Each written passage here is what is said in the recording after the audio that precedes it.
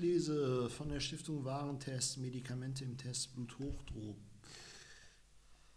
Auf der Rückseite heißt es,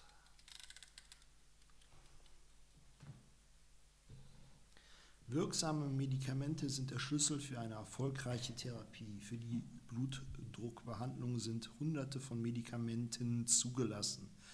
In diesem Buch sind alle wichtigen Arzneimittel bewertet, welche helfen wirklich, wie ist mit Nebenwirkungen umzugehen. Dazu gibt es in einem ausführlichen Ratgeberteil viele Tipps zum Leben mit Bluthochdruck und wie sich die Erkrankung auch ohne Medikamente therapieren lässt.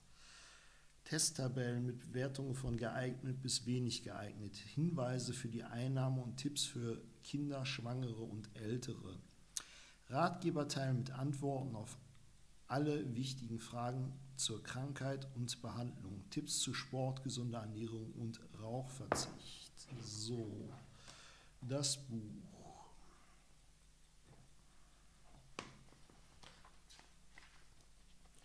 Hat 1, 2, 3, 4, 5 Kapitel. Es geht los mit was Sie, was wollen Sie wissen? Geht es weiter mit Medikamente ja oder nein. Dann das richtige Medikament finden. Medikamente richtig einnehmen und Therapie kontrollieren. Und dann gibt es doch noch mehr Kapitel, nämlich Medikamente bewertet und Hilfe. So.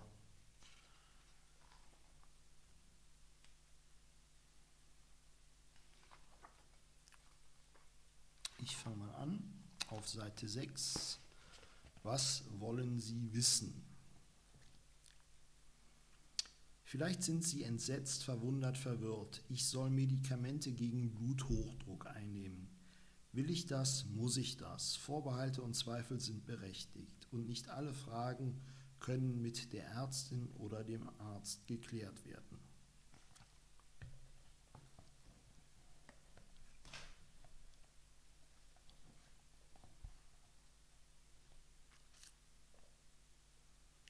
Brauche ich wirklich Medikamente? Das hängt nicht allein von Ihren Blutdruckwerten ab. Denn es sollen nicht nur die Messwerte gesenkt werden, sondern vor allem Ihr Risiko, eine Herz-Kreislauf-Erkrankung zu erleiden. Und dieses Risiko setzt sich aus vielen Putzelsteinen zusammen.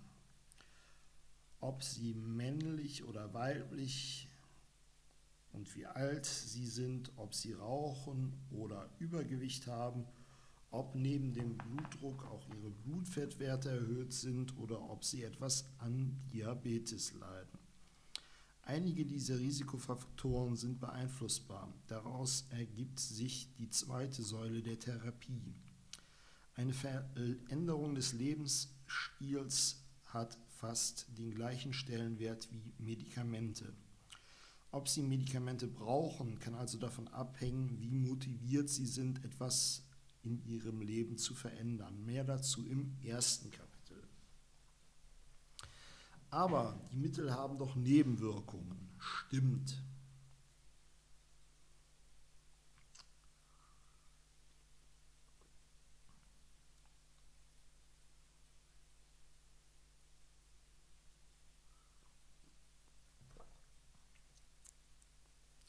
Zumindest theoretisch.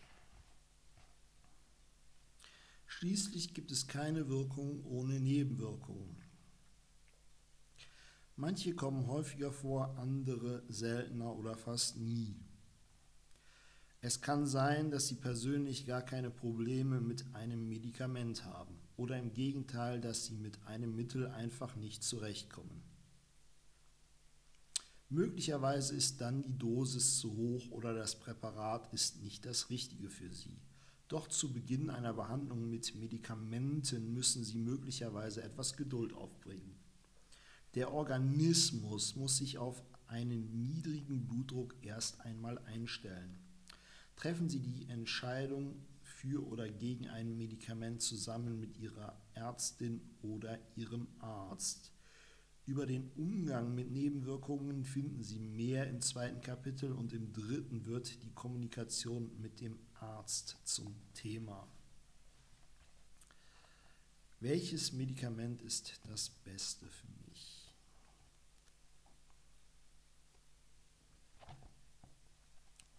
Die Auswahl ist groß. Neue Wirkstoffgruppen, über 50 Wirkstoffe, hunderte von Präparaten. Für kaum eine Erkrankung gibt es so viele und zumeist gut untersuchte Medikamente wie gegen Bluthochdruck.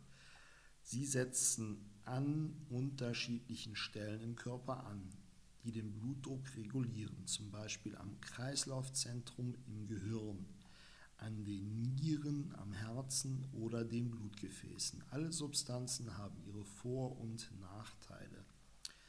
Selbst Reservemittel sind in bestimmten Fällen unverzichtbar, etwa das Mittel Methyldopa in der Schwangerschaft. Bei dieser Auswahl lässt sich das für Sie individuell richtige Mittel oder die passende Kombination finden. Lesen Sie dazu mehr in den Kapiteln 2 und 5.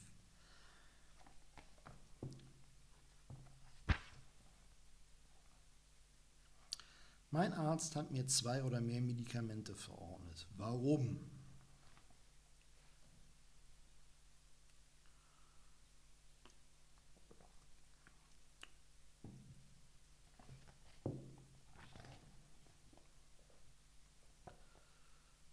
Viele Patienten brauchen mehr als ein Medikament, um den Blutdruck ausreichend zu senken. Ein Mittel reicht oft nicht, weil der Körper versucht, den Blutdruck auf der alten Höhe zu halten.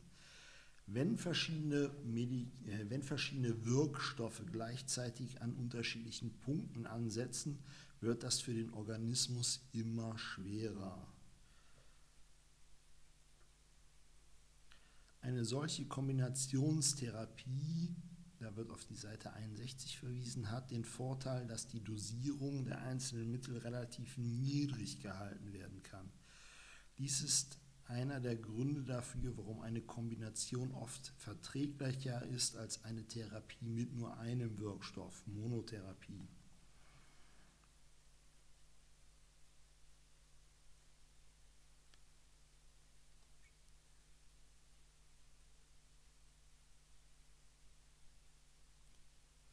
ist es absehbar, dass der Grenzwert für Blutdruck weiter sinkt.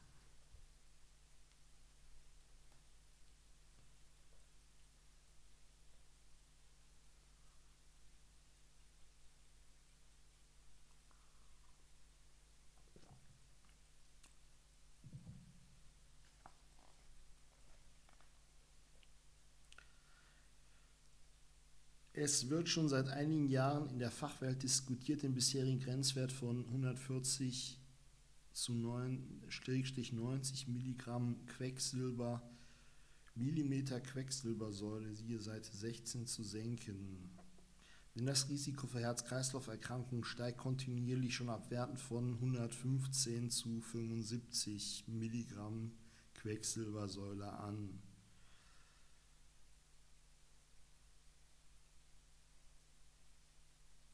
Will nicht so einen niedrigen Wert haben.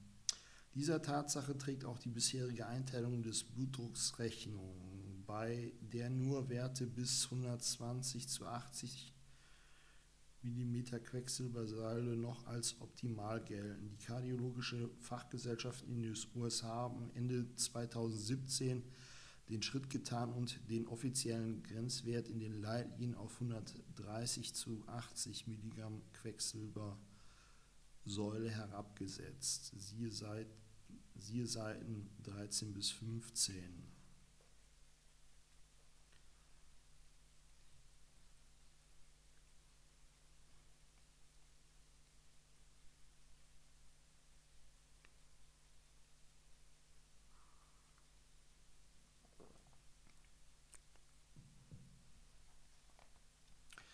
genau die Grenze zum Bluthochdruck liegt, ist also auch eine Ermessensfrage. Die Diskussion kann in jedem Fall dafür sensibilisieren, schon nicht mehr ganz optimale Blutdruckwerte ernst zu nehmen und schon früher zu versuchen, Veränderungen im Lebensstil vorzunehmen. Siehe Seite 26.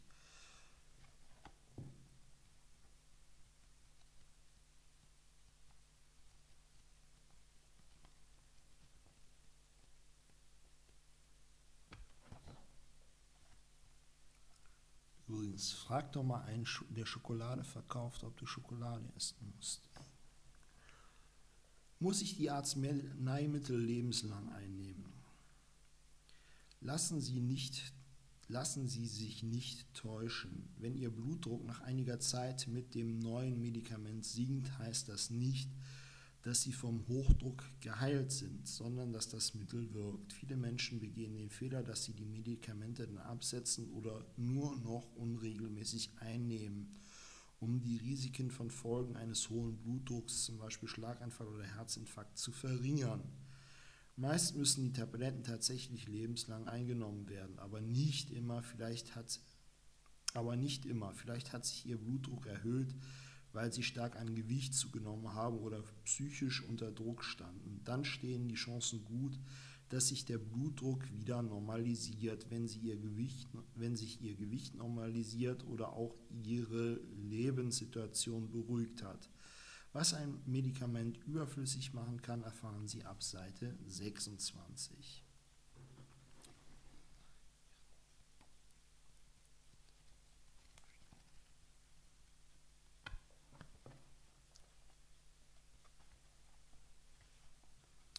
Lohnt es sich wirklich, dass ich dauerhaft Medikamente einnehme? Bluthochdruck spürt man meistens nicht, seine späteren Folgen schon.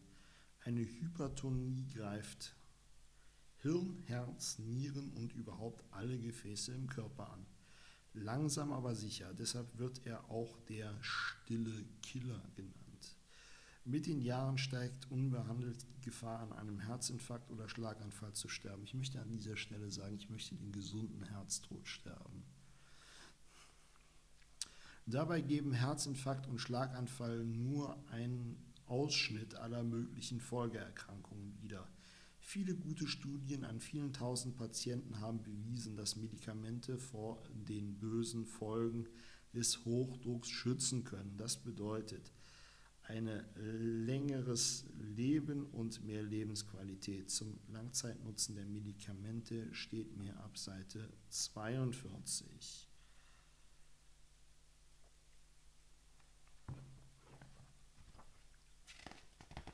So, das war's schon mit dem ersten Kapitel, nämlich Was wollen Sie wissen?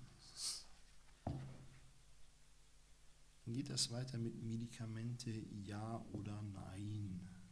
Das geht von Seite 11 bis Seite 37. So.